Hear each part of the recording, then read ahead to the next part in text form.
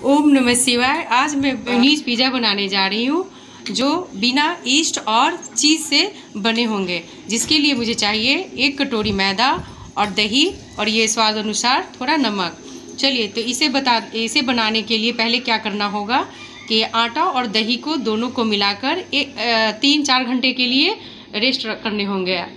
तो चलिए इसे बनाते हैं कि कैसे तैयार करते हैं एक बर्तन में और आटा मैदे को डालकर, आटा नहीं सॉरी मैदा और दही और ये ये नमक और इन चीज़ों को हम मिलाकर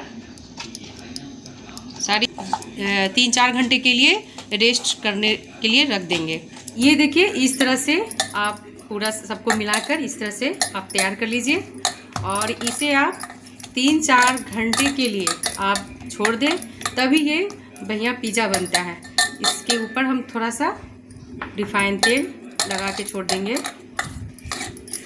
और इसे कपड़े से ढक दीजिए। एक कपड़े से इसे ढक कर छोड़ देते हैं। चलिए, ये अब डोर मेरे तैयार हो गए हैं। इसे इसे यहाँ रख के और हाथों की सहायता से मैं ये पिज़्ज़ा को इस तरह से रेडी कर लिया है। और इसे मैं अब तवे में डाल तवा मैंने धिकने के लिए, गर्म करने के लिए रख दिया है। और उसमें मैं आपको डाल के इसे तैयार कर लेते हैं। ये दिखा देखिए इसे हाथों से सहायता से आप इत, इतना तक ज़्यादा इतना मोटा नहीं होना चाहिए ज़्यादा पतला होना चाहिए बस इतना तक लेयर में रहना चाहिए। और अब इसे हम तवे पर रख के इसको तावा पे ही में हम बनाएँगे। हल्का सा हमने इस पर फाइन तेल डाल लिया और अब इस पर मैं तेल रख कर और इसे थोड़ा चार पाँच मिनट तक इसको रखूँगी। उसके एक तरफ़ से इस तरह से इतना हो जाए तो फिर इसे हम करछी की सहायता से पलट लेते हैं। और आँच को एकदम मीडियम रखेंगे। चलिए, ये इस तरह से मैंने पिज़्ज़ा सॉस इस पर लगा दिया है, और अब मैं इस पर वेजिटेबल से इसे रख लूँगी। आपको वेजिटेबल में जो भी पसंद आता है, आप वो रख लीजिए। शिमला मिर्च भी आप रख ले सकते हैं, ऑयली भी रख रख ले सकते हैं, जो भी आपको अच्छा लगता है, सब्ज़ी में उसे आप सजा के इसमें जियो के मैंने लगा लिया है, जो मनपसंद जो सब्ज़ी है आपके लगा लीजिए। और ये ये चीज़ नहीं, मैंने मेयोनीज को इस पर लगा लगाया। खासियत इसमें यही है कि मैंने मेयोनीज पिज़्ज़ा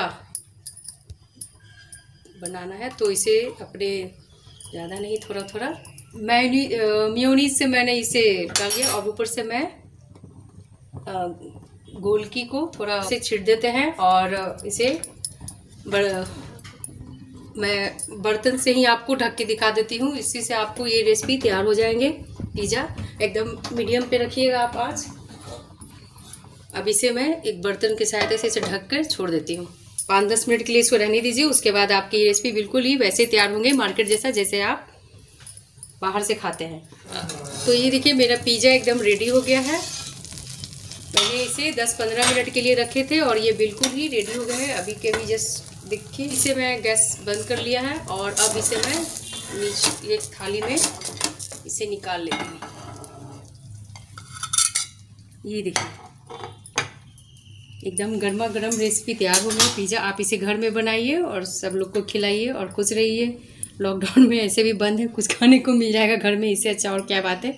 तो आप इसे ट्राई कीजिए और अच्छा लगे तो लाइक कीजिए शेयर कीजिए बम भूलें